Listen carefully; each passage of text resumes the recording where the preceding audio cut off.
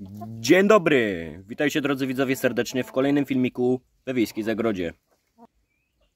Dziś jest 6 maj, poniedziałek. Zaczynamy dzisiaj pierwszą część filmu i po raz pierwszy zaczynamy tegoroczne lęgi naturalne. Zapraszam!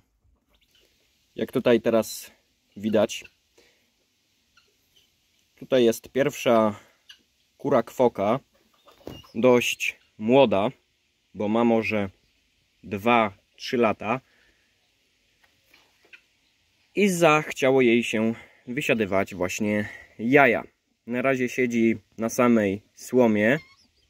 Dopiero za niedługo chcę jej podłożyć jaja. Ale dlaczego to jest pierwsza część filmu? Ponieważ ona, ta kura, będzie wysiadywać najpierw 7 jaj perliczych i te jaja planuję podłożyć dopiero jakoś wieczorem, tak jak się ściemni, żeby tej kury jeszcze tak bardziej nie płoszyć i nie denerwować, bo ona dopiero niedawno się oswoiła z tym nowym miejscem, bo dotychczas siedziała właśnie w gniazdach w kurniku, a teraz to miejsce, w którym się znajduje jest dla niej zupełnie nowe, obce i musi się po prostu z tym miejscem oswoić. Jeszcze widać po niej, że zachowuje się tak troszkę nieswojo. Jak widzicie, gniazda nie ma w ogóle. Chodzi tutaj o skrzynkę i inne tego typu rzeczy. Gniazdo jest wykonane po prostu naturalnie ze słomy i po prostu ona na tej słomie sobie siedzi. Tej słomy jest tam dość sporo i tam do tego gniazda zostaną włożone najpierw te jaja perlicze. 7 jaj, tak jak powiedziałem, na początek, bo później do tych e, jaj perliczych zostaną dołączone pozostałe jaja, ale już kurze. A dlaczego, co i jak, to zaraz o tym powiem. Jak widzicie, kura tutaj będzie miała miejsce na picie oraz jedzenie. Chociaż myślę, że będę ją właśnie wypuszczał na wybieg, gdzie są inne kury, żeby po prostu się najadła i napiła oraz rozprostowała kości, yy, skrzydła i tak dalej, i tak dalej. Wiadomo o co tutaj chodzi. I oczywiście, żeby miała możliwość załatwienia swoich potrzeb fizjologicznych. Normalna rzecz, normalna sprawa, tak bo tutaj w tym miejscu za bardzo skrzydeł nie rozprostuje i też nie załatwi tak zbytnio swoich potrzeb fizjologicznych, ale najeść i napić będzie mogła się jak najbardziej. Kurka jest ładna, jak jej się zachciało wysiadywać, to proszę bardzo. Nie mam do tego żadnego problemu, niech wysiaduje i niech jej się później wyklują te ładne pisklęta i niech będzie dobrą matką. Ale najpierw niech dobrze wysiaduje, bo to też jest klucz do sukcesu. Pokrótce jeszcze powiem, w czym ją nasadziłem. Bo moi drodzy, ja wcześniej nasadzałem w odchowalnikach. Tak jak wcześniej mogliście widzieć na filmikach z nasadzania. Jeśli ktoś nie widział, to zapraszam serdecznie do obejrzenia. A w sobotę 4 maja została właśnie dostarczona do wiejskiej zagrody taka oto klatka od królików. Jak widać przydaje się nie tylko do królików, ale także do kur, które chcą wysiadywać jaja lub początkowo do tych kur, które wychowują pisklęta. Jest to dobra rzecz, wręcz bardzo dobra rzecz, bo jak widzicie tutaj w tej drugiej klatce Klatka jest dość duża, czy tam pojemna. Wszystko jest tutaj szczelne, zabezpieczone. Nic nigdzie tutaj nie wejdzie nieproszonego. Dobre też jest to, że kura, która tutaj będzie wysiadywać, ma dostęp do świeżego powietrza i też jej tutaj nic nie wejdzie, bo jest tutaj kratka metalowa. Ale może zastanawiacie się, po co tutaj dałem ten worek. Ale ten worek jest tutaj tylko na chwilę, tymczasowy, ponieważ wcześniej jak dałem tą kurę, to ona się tutaj dziwnie zachowywała, nie wiedziała co ze sobą zrobić. Musiała się z tym miejscem troszeczkę oswoić, zapoznać. No i chciałem to miejsce jej troszkę tak przyciemnić, żeby się uspokoiła i żeby nie widziała co się dzieje tutaj właśnie na zewnątrz, bo to ją dodatkowo denerwowało czy tam rozpraszało. I jak widzę, przyniosło to jakiś pożądany efekt, ponieważ worek zdał egzamin, bo przyciemnił to miejsce, dodatkowo jest czarny, więc się dobrze sprawdził i niech na razie będzie. A później, jak wszystko będzie w porządku, to ten worek po prostu usunę stąd. A klatka jest taka, jaka jest. Tak wygląda.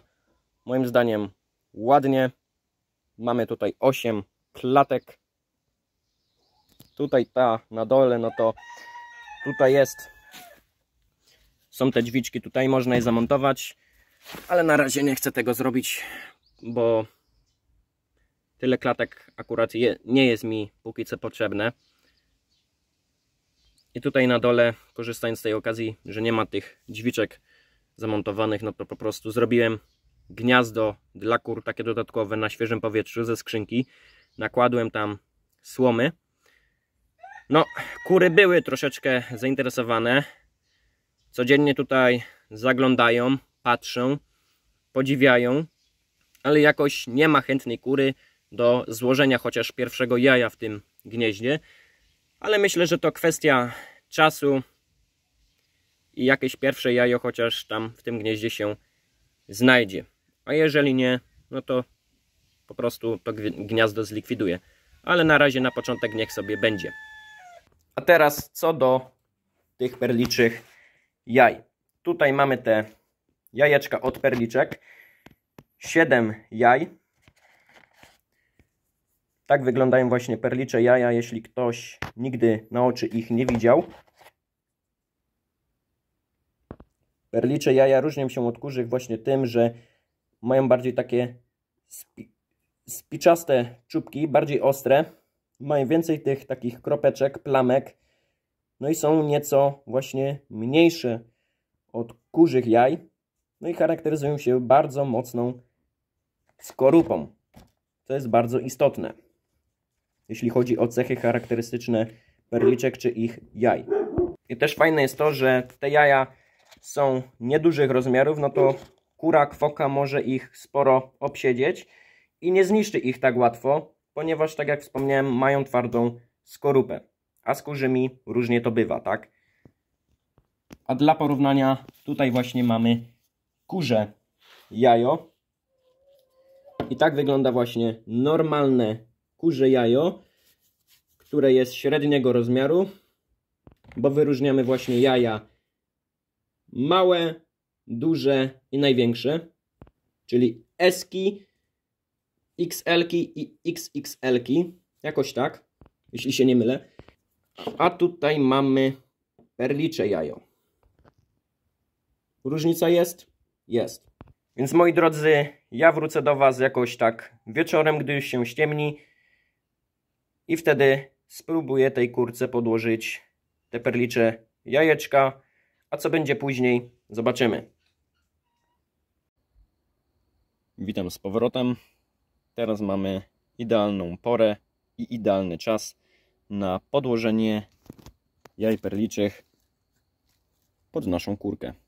Godzina 20.50, a jeszcze tak ładnie ciepło i winno.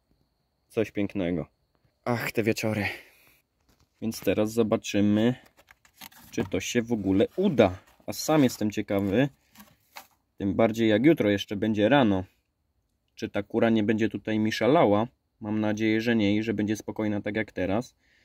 Jeśli wszystko będzie w porządku, no to dalej też będzie w porządku. Inaczej być nie może. Dobra, chyba damy jakoś radę.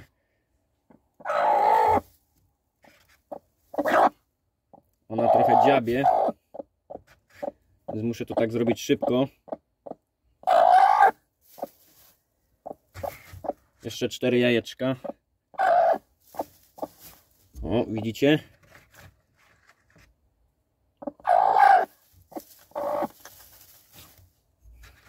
Muszę ją tak troszkę przytrzymywać. No bo takie dziobnięcie czasami może być bolesne. A po co doświadczać niepotrzebnego bólu? No i dobra. Można powiedzieć, że już po robocie. Jajeczka podłożone. 7 perliczych jaj. Raczej nie ma opcji, że je tak łatwo zniszczy. Bo tak jak mówiłem, perlicze jaja są dość mocne i po prostu wytrzymałe. Kura już się tymi jajeczkami tutaj zajmie i w odpowiedni sposób zaopiekuje. No i też myślę, że jak zobaczy teraz te jajka i poczuje je pod sobą, no to jeszcze bardziej ten instynkt macierzyński i ten instynkt do wysiadywania jaj bardziej się w niej jeszcze rozbudzi i nabierze bardziej ochoty jeszcze na to wysiadywanie i będzie chciała tutaj w tym miejscu wysiadywać. Bo tak jak mówiłem, tutaj będzie miała o wiele lepiej, bo będzie miała też dostęp do świeżego powietrza. A tam w tym odkowalniku, no, miała przestrzeń, mogła się wyprostować, mogła załatwić swoje potrzeby fizjologiczne, mogła się najeść, mogła się napić, ale nie miała takiego zbytnio dostępu do świeżego powietrza, a tutaj będzie miała wszystko, czego będzie potrzebowała.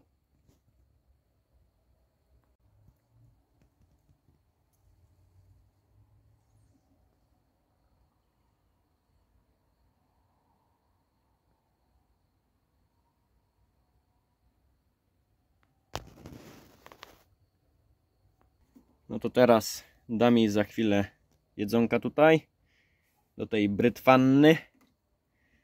No i teraz naleję wody. Oczywiście kamień tutaj w środku musi być, żeby ona tego nie wywróciła czasami i nie narobiła niepotrzebnie bałaganu. Wiadomo o co chodzi. A teraz czas na jedzonko. Tak więc dajemy teraz troszkę owsa. Taka w sumie podstawa tutaj diety moich kur. No i troszkę ziarna przężyta.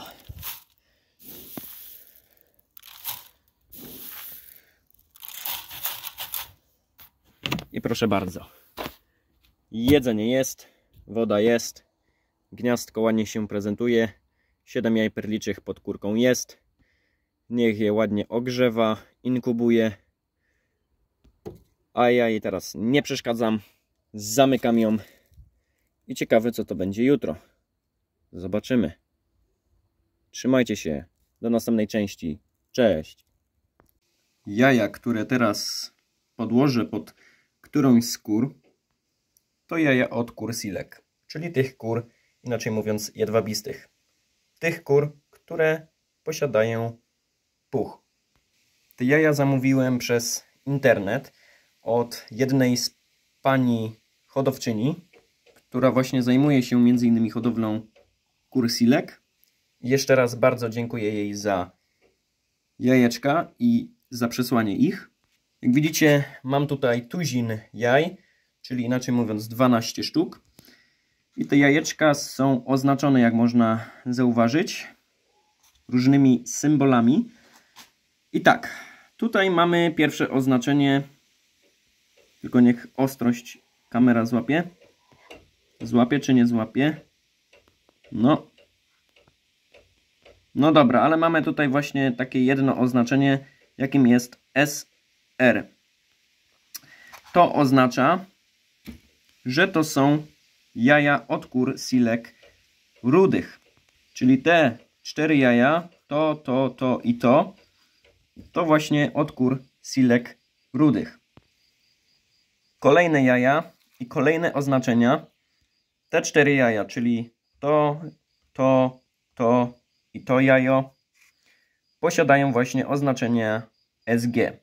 SG oznacza, że są to po prostu jaja od kursilek dzikich. SG czarnych spaint. dzikie, czyli inaczej po prostu zwykłe kuropatwiane. Tak mi podała właśnie ta pani, więc tak teraz Wam mówię. Pozostałe jaja i pozostałe oznaczenia, też cztery jaja, to oznaczenia SME. I te jaja pochodzą od kur silek kuropatwianych srebrnych. Jak widać, jajko od silki wygląda jajko jak jajko.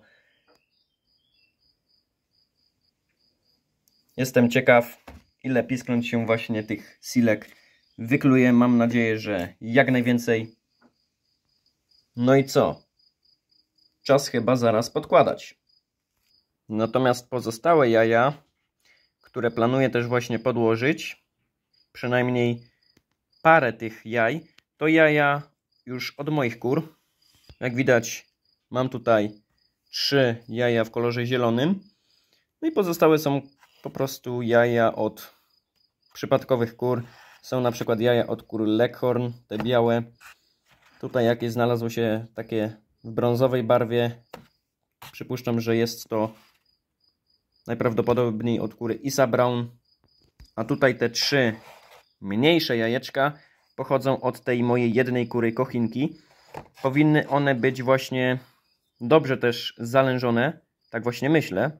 I pomimo tego, że ta kura chodzi właśnie z innymi kurami i z innymi kogutami, no to też myślę, że powinny wyjść oryginalne kochiny, gdyż kogut kochinek często właśnie tą kurkę kopuluje. A jeszcze nie widziałem, żeby zwykły kogut tą kurę kopulował, szczerze mówiąc. Więc taki eksperymencik sobie zrobię i zobaczymy, co z tego wyjdzie. Oczywiście te jaja jeszcze oznaczę markerem za niedługo, żeby później było wiadomo, jakie jaja po prostu były zalężone, które nie i co się też z nich wykluło. No i tych jaj oczywiście jest tutaj 10. Witam, witam Was drodzy widzowie już gdy jest ciemno, ale niestety muszę to teraz zrobić, bo ta jedna właśnie kura się dobrze teraz rozsiadła, zapoznała się z miejscem, z nowym otoczeniem, więc mnie to cieszy. Ładnie sobie tutaj siedzi w tej słomie. No i co, nie tracąc czasu, podkładamy te jaja od silek. Podłożę tej kurze na razie 10 jaj. Jaja są właśnie teraz y, przeze mnie oznaczone czarnym markerem. Które to które? SME, SR, SG, żeby później jak się wyklują, to żeby było wiadomo z których jaj po prostu, jakie wykluły się pisklęta. Także podkładamy, bo nie ma czasu.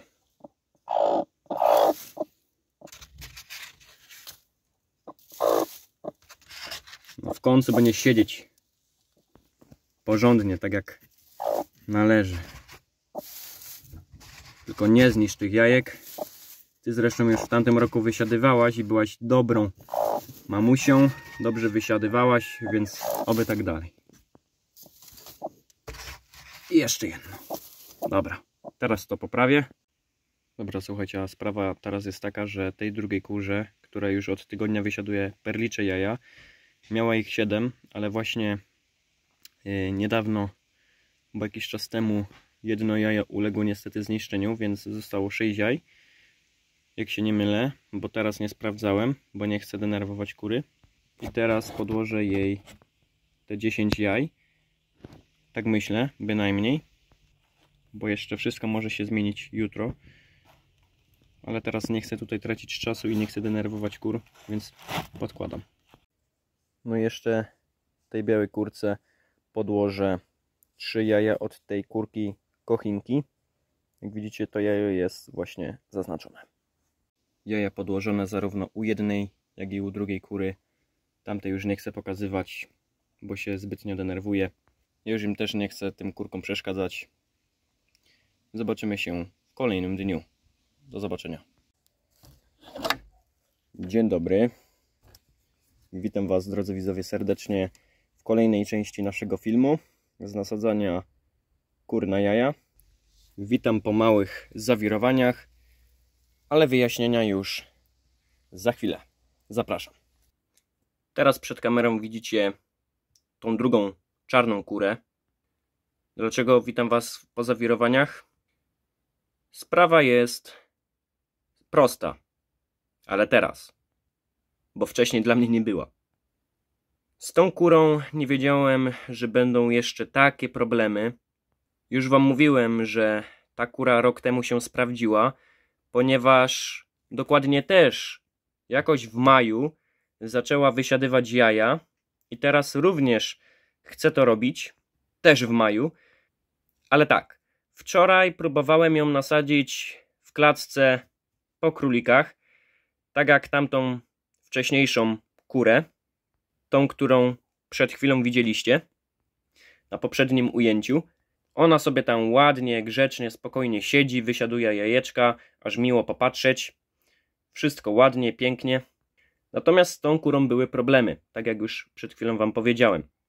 Najpierw do klatki ją wsadziłem, do samego gniazda, żeby po prostu zapoznała się z klatką, z nowym miejscem. Wiadomo, nie wszystko od razu. Dałem jej trochę czasu. Przyszedł już późny wieczór, zrobiło się ciemno na zewnątrz. Kury są wtedy mniej aktywne, praktycznie śpią, słabo widzą. I spróbowałem jej podłożyć chociaż kilka jaj, żeby sprawdzić, jak ta kura będzie się zachowywać i czy w ogóle będzie wysiadywać. Byłem pełen nadziei, że to się uda. Natomiast kura nie do końca chciała siedzieć. Później stwierdziła, że chce siedzieć. Przez całą noc siedziała w klatce, aż do rana i w klatce zaczęła gdakać. Denerwowała się i musiałem ją w końcu wypuścić na wybieg. Przynajmniej się najadła i napiła. Następnie teraz, niedawno, postanowiłem nasadzić ją tak jak w tamtym roku w tym samym miejscu, czyli w odchowalniku. Tutaj nie będzie słyszeć ani widzieć kur. Będzie miała ciszę i spokój. Jak widzicie ma tutaj gniazdo ze skrzynki. Na razie podłożyłem jej tam parę jaj kurzych. Tutaj ma dostęp do świeżej wody i zboża. I na razie siedzi, tylko że teraz wstała akurat. Ale uwierzcie mi, że dała mi tutaj troszkę w kość, ponieważ co, co jakiś czas tutaj zaglądałem przez siatkę, tak żeby mnie nie widziała, ale ja właśnie kurę widziałem i ona zamiast siedzieć w gnieździe, to ona stała tak jak w sumie teraz. Tylko mam nadzieję, że usiądzie. No i na razie ma podłożone te kurze jaja od zwykłych kur, od moich, ale musi wysiadywać te jaja od silek, ale o tym już za chwilę.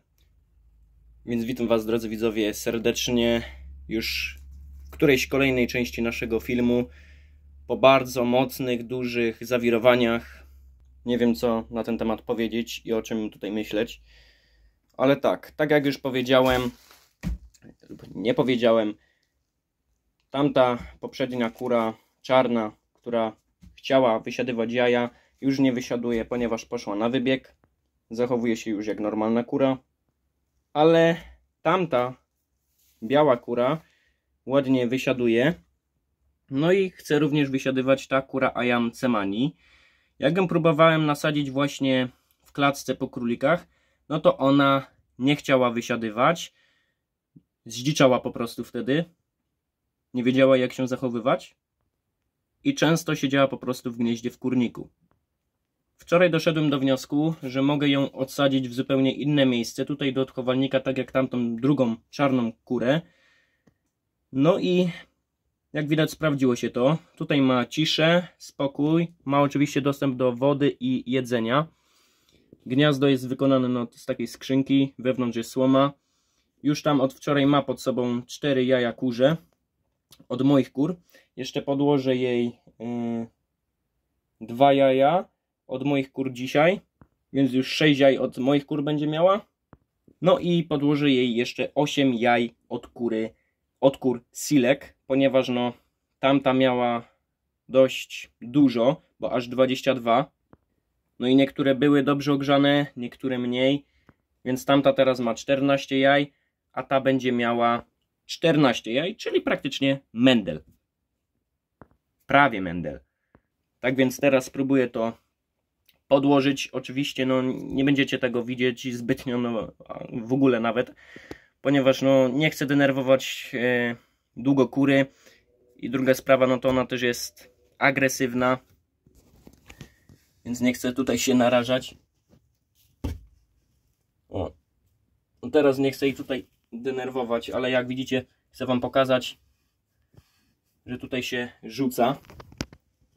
Tak więc co, widzimy się jak teraz podłożę te jaja. Jak widać, jaja pod tą czarną kurę są podłożone. Ma ich tutaj 10. 5 od silek. 5 kurzych od moich kur. To tak. Witam Was drodzy widzowie. Że tamta poprzednia czarna kura, która chciała wysiadywać jaja, już ich nie chce wysiadywać. Dobrze wysiaduje na razie tylko ta kura. Ma ona teraz obecnie 16 jaj. Wcześniej miała 22. Ale zaczęła wysiadywać również tamta czarna kura Ayam Cemani. Tamta ma 10 jaj. 5 jaj od moich kur i 5 od kur silek.